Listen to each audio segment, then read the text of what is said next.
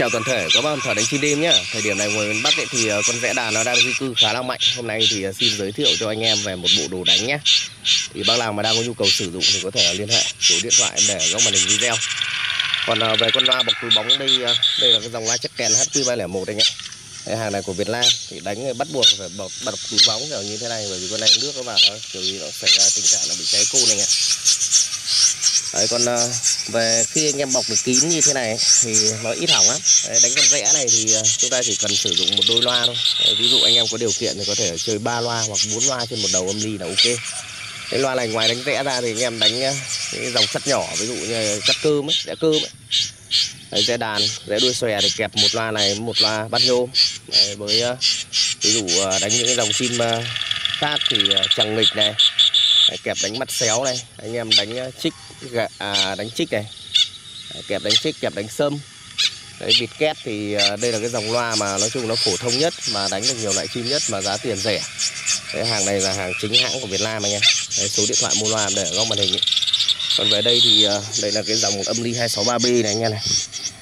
Đấy, dòng âm ly này thì giá tiền của nó thì nó hợp lý. Và dòng này bây giờ nó sẽ ra một cái mẫu mới đó là cái khe cắm thẻ nhớ thì nó sẽ cắm trực tiếp thẻ nhớ vào kiểu như là con loài điều khiển từ xa thì cái vấn đề mà bị hỏng láo thẻ thì hầu như là không có. Con âm ly này thì à, công suất của nó thì nó 300W anh ạ.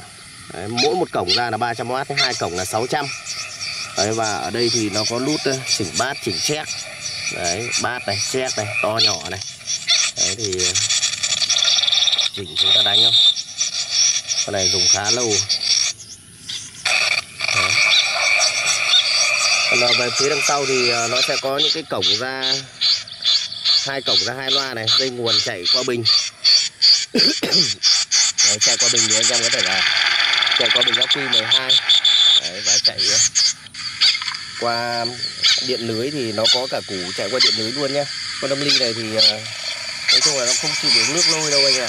Để đánh thì anh em lấy cái thau anh em úp vào. Và ok. Còn kể cả dòng loa này nữa. Đấy, dòng loa thì nó rất cơ bản nhưng mà có nhược điểm của nó là về cái vấn đề nước lôi là nó không chịu được. Đấy, đánh được nhiều loại chim Đấy, kiểu như anh em mua là cũng phải sử dụng. Đấy, còn này, hả? Liên. con kêu con đây con kêu. Treo lên à, Đấy, loa treo lên thì nhiều anh em bảo loa treo lên mà đút túi bóng vào nó không vít được nhưng mà thực ra nói thì nó vút vít đi xa lắm anh ạ Đấy, một bộ đồ loa đánh à, nhá, rẽ run. Đấy, rẽ run à, thì sẽ bao gồm là hai loa chắc kèn thôi và một âm ly. Thì anh em nào cần tư vấn à, đánh thì anh em liên hệ. Đấy, cũng đang trong cái thời điểm mà giờ đi giữ chim thì quay cho anh em xem. Bác nào xem được video là cần thì liên hệ nhé. Chào các bác ạ.